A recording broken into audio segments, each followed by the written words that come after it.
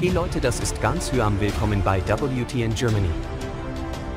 Calvin und Marvin Kleine nach Raute Couple Challenge noch enger. Dieser Erfolg hat ihnen nicht nur viel Geld beschert.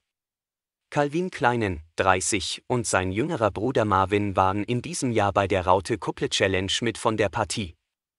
Im eisigen Finnland kämpften die beiden um das Preisgeld von 100.000 Euro und schlugen sich so gut, dass sie es am Ende sogar bis ins Finale schafften. In einem offenen Schlagabtausch mit Tommy Pedroni und Sandra Soleil, 29, sicherten sie sich den Sieg. Die Zeit bei Raute Couple Challenge hat die Brüder noch mehr zusammengeschweißt. Das verrieten die beiden nun gegenüber Promiflash. Nichts geht über meinen Bruder, das war schon immer so. Habe es unnormal gefeiert, mit ihm in so ein Format zu gehen, schwärmte Calvin. Für Marvin war es der erste Auftritt in einer Reality-TV-Show und auch er hatte offenbar eine richtig tolle Zeit. Unsere Beziehung ist schon immer auf einem Höchstlevel gewesen, hielt der 27-Jährige im Interview fest. Mit den anderen Mitstreitern stehen die Geschwister noch vereinzelt in Verbindung.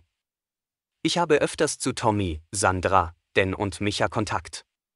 Ansonsten eher locker, erzählte Marvin im Promaflash-Interview. Ihr Raute-Couple-Challenge-Fazit fällt sehr positiv aus.